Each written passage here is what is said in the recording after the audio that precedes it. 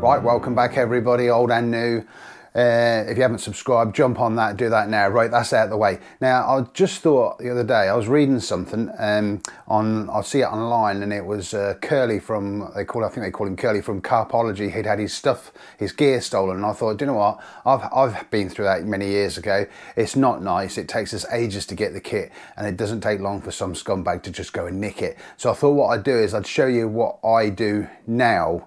Um, I'm not going to show you all the security, but I'm just going to show you the, the, the, the shed I keep it in because uh, you can get these in all different sizes. They're really good because like if you're like me where I've, I've moved quite a bit, you can take these down and bolt them back together and they I've took them to bits, put them together, took them to bits, and they, they, they're really good for that. Whereas a wooden one, you, you can't. And also wooden ones are easy, easy to break into.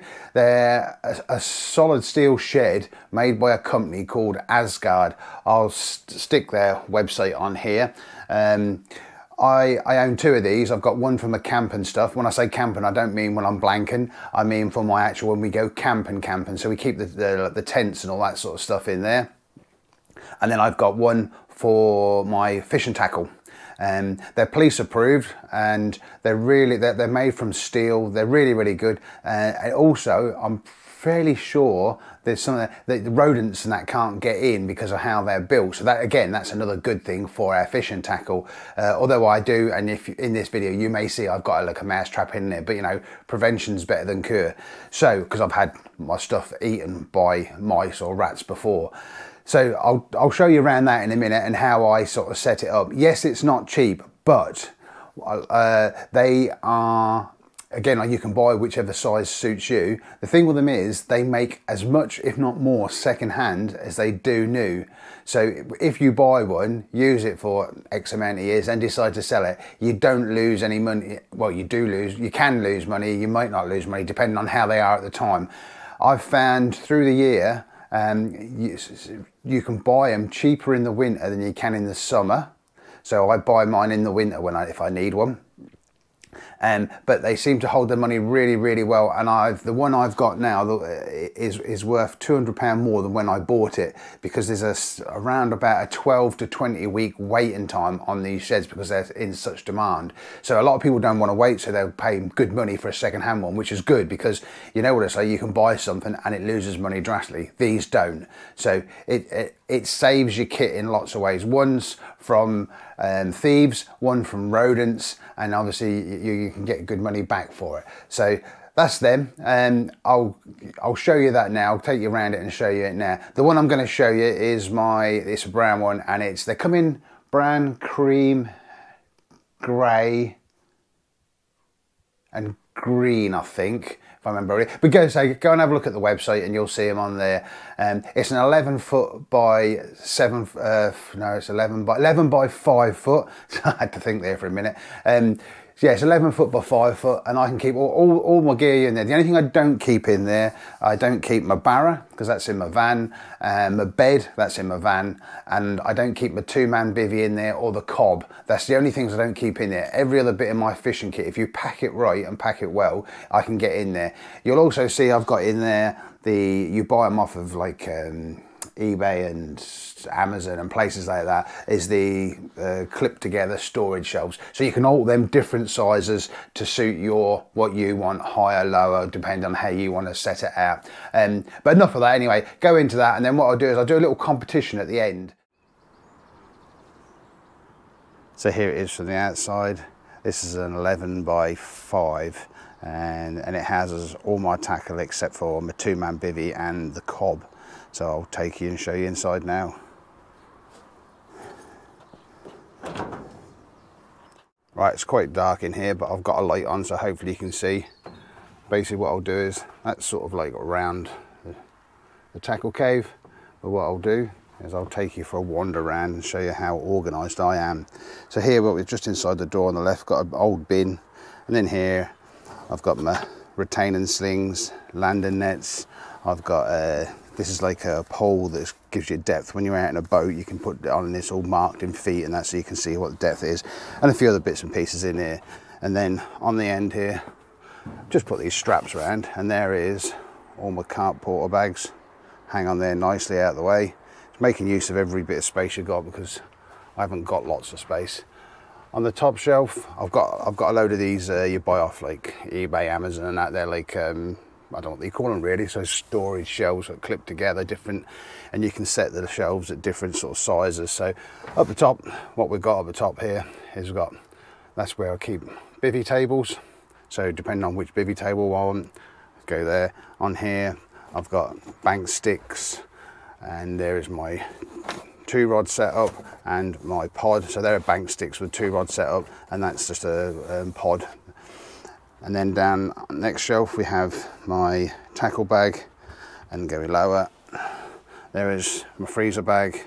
Oh, go steady, get level. There's my freezer bag. There's my everyday sort of food bag, and this bag here is just a spares bag. When I go filming and I'm not fishing, um, which I'm hopefully I'm going to be doing a lot of this year.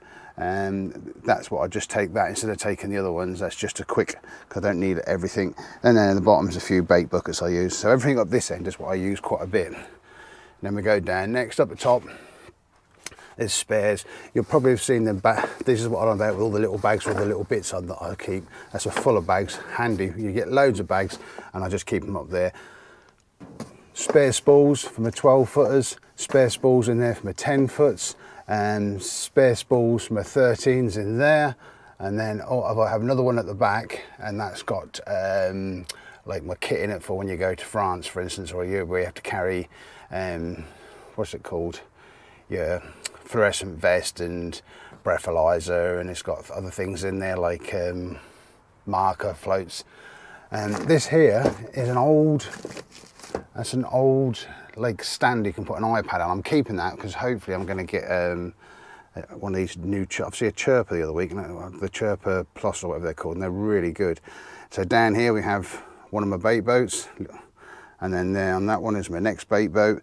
Yeah, extreme two bait boats, but there's a reason behind that, and I may end up with just one this year because I may be selling the little one, keep the big one. Down here, I've got the two spare boxes that I use. Um, again, that's when I go for longer sessions. I want to check extra food or bait or anything like that in. On there, it's my rucksack, which has now been, um, I've changed what I used to keep. I used to keep that in my bivvy. Now that's going to be my clothes bag when I go uh, for longer sessions, say abroad. Underneath here, a couple more bait buckets and all my different shoes and boots and stuff. Go down to the bottom, at the top, got all my water barrel, water barrels, water containers, and little weed rake there. On here is just my spares, my bits and pieces spares. Any, anything I just chuck up here. Down on this one, these again, these are my, just my spare little, um, you get loads of these different patches and that over the years. They're just kept there if I ever need them. Here, this is my summer kit. So I've got Mozzie Zapper, the Trakker fan, and my Ridge Monkey shower in there. On that level, we have the two different, uh, what do you call them, covers for your beds. That's a summer one, spring autumn one. That's a winter one, which I don't think I'm going to use anymore since I've had the uh, new bed. Down on the bottom, you'll probably struggle to see down there. That's got my spare gas and then a few more buckets. Here we have my Trakker chair, my Fox what chair that goes on the bed, and my little Fox uh, guest chair. Really love that. And there's my unit when I go to France. I got given this, it's really cool. I'll have to show you this sometime. Um, I popped it there, I've got an idea for that, but that's a really cool little bag that was given to me by one of my customers. Right, as we come over here, I'll start on the bottom. I have two of these heavy duty boxes where the lids lock. They lock into themselves and they're sealed, there's no holes in them. So I keep my bait in here, monster crab in here, my nuts in here. Uh, not keep my nuts in here, but the nuts boilie in here. So they're all nice and protected there. There's my winter bivvy on here at the moment. Then I have, on the next shelf is the Fox Frontier on there. On the next shelf is the Frontier extension. Then up the top there's a load of mats and bits and pieces, like bits out of the bivvies that I don't use, um, ground sheets and stuff like that. That there, that's not my t-shirt. That's just what I use, an old rag I've got in here for wiping and cleaning stuff. So on here, here's all my rods. So there we have 10 foots, marker and spod, 12 foot, 13 foot, and then down the bottom, that's where I keep the uh, unhooking mat. And then coming around to the last bit, air dry boilie bags, big one, small one, and then it's a little sort of zip up freezery bag for baits as well. And then there is the uh, waders. And then what I have this spot here is just left for when I bring home a bivvy. If it's still not wet and I can't get it dry outside, I just stand it here. Right, you made it to the end. So anyway, uh, thanks for keeping watching. Um, like I said, I'm going to do a little thing, a little uh, giveaway in a minute. And um, hopefully that, that gives you an idea. Like I say, they're not cheap, but neither is carp tackle. If you go out and use buy a bait boat or electric barra or, or you know, those sort of things. This shed is, is cheaper than them, but it will keep your kit in, in good condition from the rodents and uh, keep it with you instead of the uh, scumbag thieves. So anyway, what I'm going to do for the competition, as you know, if you follow this channel, I do mugs. I haven't been able to sell them due to postage. Now, that might change very, very soon because i am uh, going to see someone this afternoon about uh, delivery. So hopefully we can start selling them. I think they're going to be around about £13 delivered. Uh, for for the for the mugs. Now what I've done is I've, I've just been into I've got a box full of them because I said I'm going to do them as giveaways to start with. Apart from obviously Ches's Tackle and Bait, CB Baits, Uh, or Horncastle. You can get them from there. Uh, go in, put your order in, and then once a month, what we do is I get the orders and then I, I give them to them, and you can pick them up from there. Which they will be ten pound from there because there's no postage. But hopefully, I can get these down to thirteen pound. At the minute, it costs me about four pounds sixty to send them. So that yeah, it's nearly fifteen quid for a mug. Which they are good quality. They're unique designs. I've designed the background, I've designed the logos, and I paracord the handle for you in different colours. So anyway, enough of that. I've got a box full of mugs what I bought last year and I've been doing them away as giveaways. So I just went in um, and I just stuck my hand in and grabbed the first one. So what we'll do is I'll have a look and see which one it is. So what I want, oh, to win it, what I want to do is um, give me some sort of, uh, say, uh, what can we say? Let's do, show me, show me your tackle sheds. Show me how you, um, how neat you untidy and organised you are or how messy you are. Just for a bit of fun. Don't post them on here. Send it to email address, this one, and then I'll, I'll pick my favourite favourite one out of them and uh, you'll win this. So anyway, let's have a look what it is. So it is, we have, again, it's my logo on the front. You've got a unique camo pattern on there and then this one This one is the Carp Camo Gone Crazy. Right, it's just a funny little sort of um, piss take really on camo. You'll have seen some of the camo in, in mine. I'm not massive on camo. I don't mind it. It's fine, but I don't go 100% all camo. There's green, there's brown, there's all sorts. I don't care. But that's, yeah, that's quite a good one, camo. So if you want to win this mug, the, the handle will be paracorded. I've just not got round to it. So um, yeah, if you if you decide you want to have a chance of winning, it, send me the pictures and also just put on there what colour you'd like you'd like the handle. Or what I'll do is when I pick the winner, I'll just message you and say what colour do you want the handle and give you some options. So, yeah, chance to win that. Send your organised or unorganised pick of your tackle to here, and uh, we'll catch you on the next one.